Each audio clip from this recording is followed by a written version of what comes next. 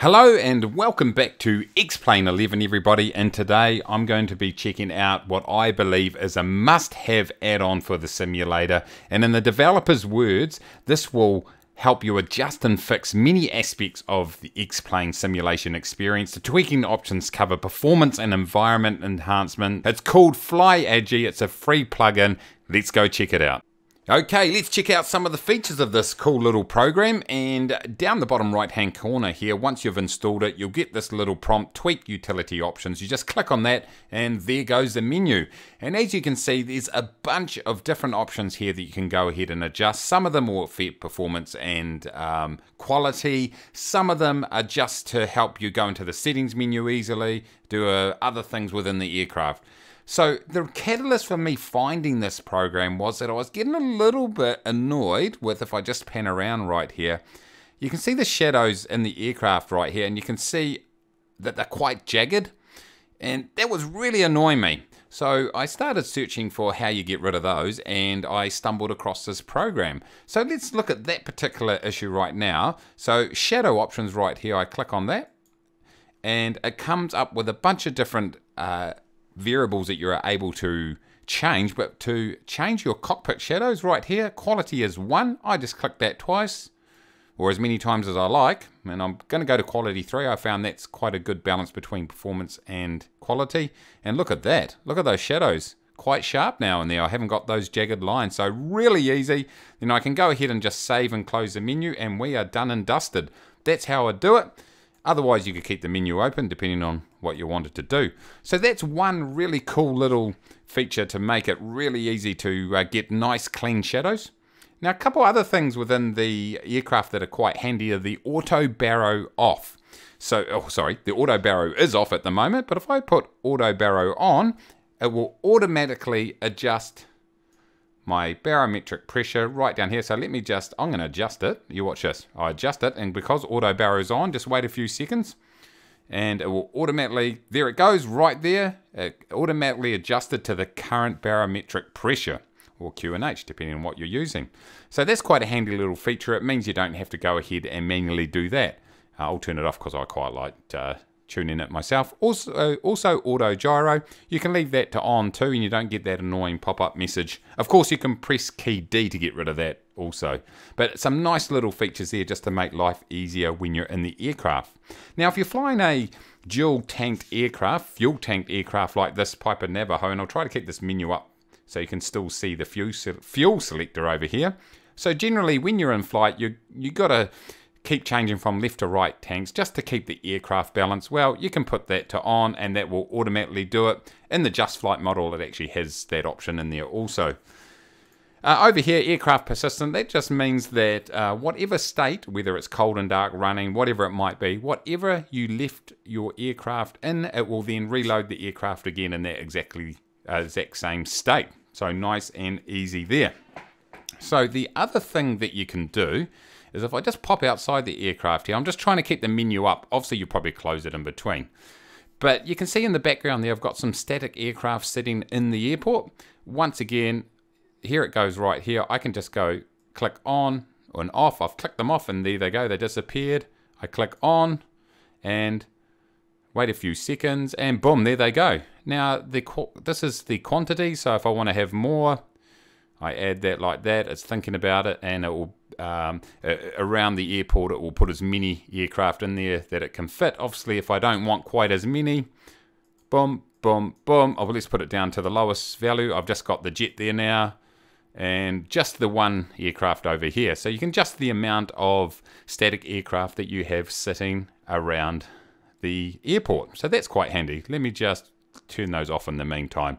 Now, every time that you adjust one of these quality or performance settings, you might notice up in the top left-hand corner, uh, my frames per second at the moment, 26, pretty low. Um, but you adjust some of these options and you'll be able to monitor what your frame rate is doing. So you can go ahead and you know mildly tweak things just to try to get that balance between performance and quality, which we're always trying to do. Now the next thing I want to check out is uh, the sounds. Now what this has is a bunch of different sound options and here they are over here. You click on that, hopefully you can see what I'm doing right here. And essentially, what you can do, you can increase the intensity and type of wind sounds, rain, so you can have really heavy rain uh, uh, sound coming on top of your aircraft and things like that, rattles, all that sort of stuff. You can adjust the pitch, the, the you can adjust the volume. There's a whole whole range of different options right there. Now I'm ripping through this pretty quickly, uh, but what I would highly recommend you do is download the program. It's uh, I'll put a link down in the description, and then you can just play around with it yourself. It's really easy to set up. Once it's in your menu, it's uh, in your plugins menu. Very very easy. So the next thing that I'll do, see up the top left hand corner you got frames per second which I mentioned before. Well at the moment I've got that turned off which means when I close this menu after a few seconds frames will be gone but I can turn that on and um, it will um, continue to show frames per second up in the top left hand corner. Now, of course, you can do that through your data output screen uh, or options in Flight Sim if you want to. The other thing this allows you to do is uh, go into your weight and balance menu really easily and change those options on here instead of having to go into the menu I meant, sorry. Uh, right here, flight configuration, so you can easily click that and go into your flight configuration. Uh, you, it's got shortcuts through to the controller, which is around here somewhere. Uh, it's around here. This is outstanding organization by me.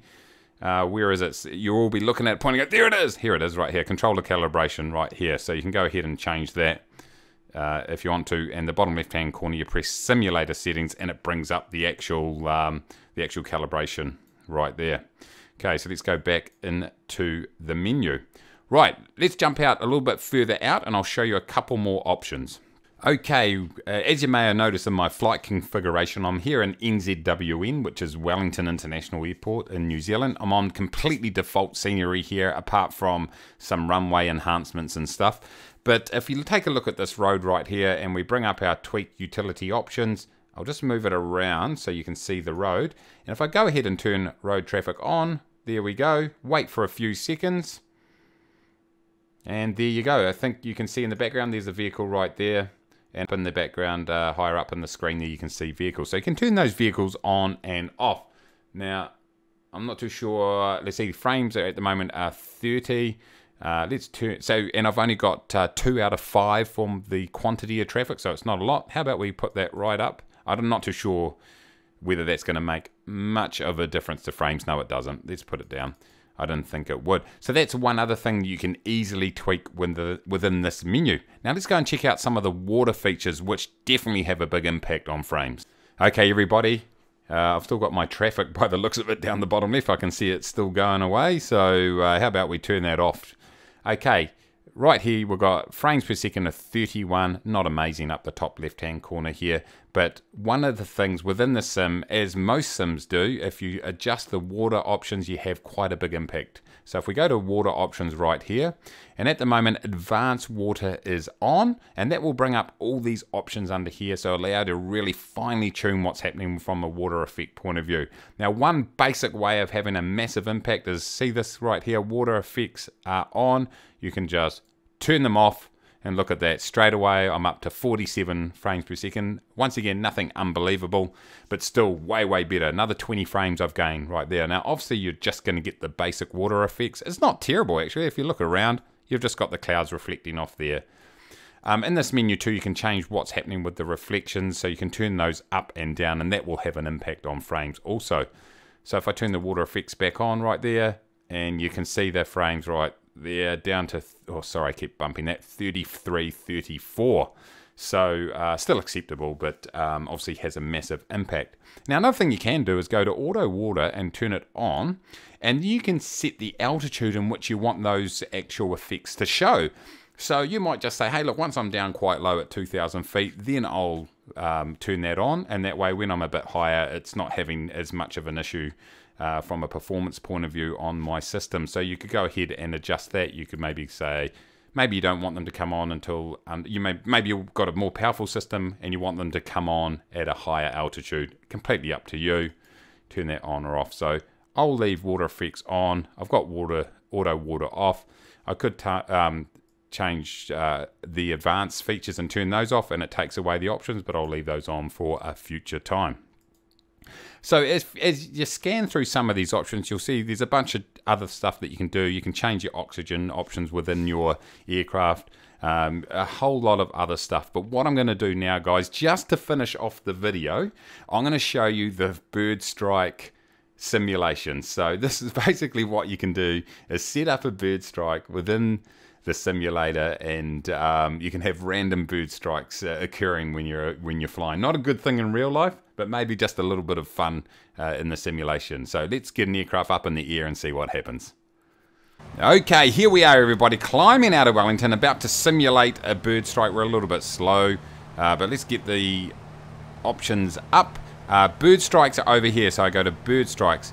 Now, what you can do is uh, once you've got the menu up, you can adjust all the options and have an interval between when the bird strikes uh, will occur, the percentage of them likely to happen. So, for example, if you put 100, which I've set it to now, then it's definitely going to happen.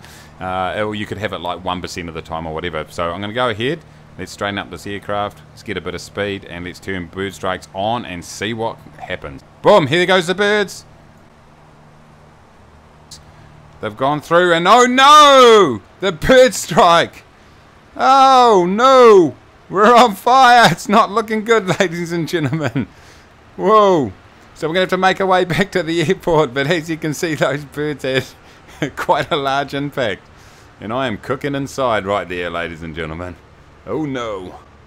But uh, just a little bit of fun that you can also have with this uh, with this plugin. Ha! That's not looking good for me, ladies and gentlemen. So there you go everybody, the FlyAgi X-Plane Performance and Quality plugin, an absolute must-have in my opinion, really easy to use and as you can see, a depth of things that you're going to be able to tweak within your simulator to have it running exactly how you'd like to have it run. So go ahead and download it. The link's down in the description. I want to say a huge thank you very much for watching. Make sure you smash that like button, subscribe if you are new, and until next time everybody, take it easy.